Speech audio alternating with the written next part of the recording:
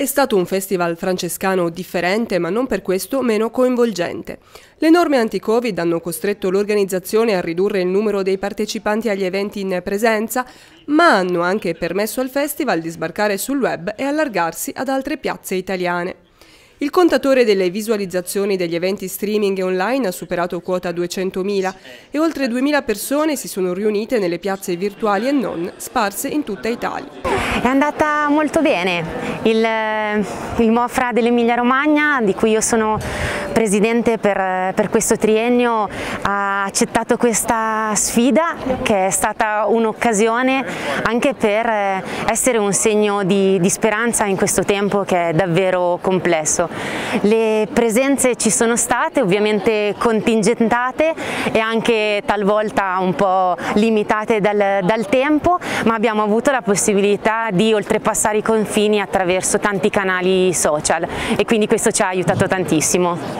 L'economia non può tollerare la povertà, o meglio, l'economia deve eh, sconfiggere la povertà, è la vera battaglia dell'economia, eh, aiutare chi resta indietro, chi ha più necessità.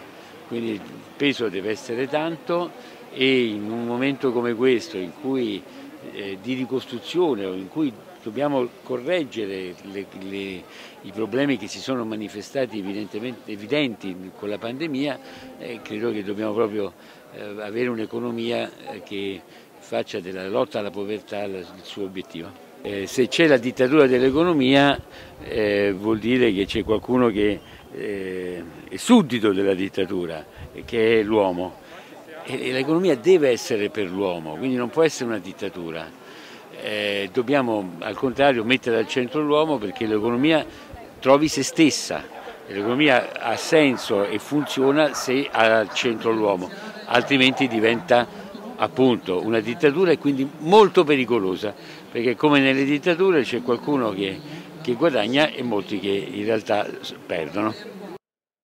I tre giorni del festival hanno avuto come filo conduttore l'economia gentile, tema che è stato anche al centro dell'omelia pronunciata dal cardinale Matteo Zuppi durante la messa celebrata in Piazza Maggiore.